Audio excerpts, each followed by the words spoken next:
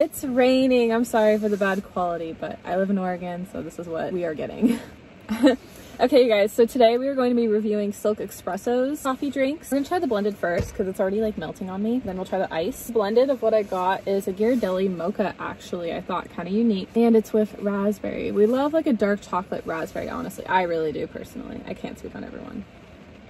Mm-hmm. It's good. Yeah.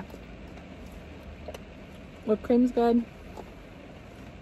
I'll be real, originally I wanted to get this with cherry. I thought that would taste really bomb, but you know what? I typically like cherry with like milk chocolate.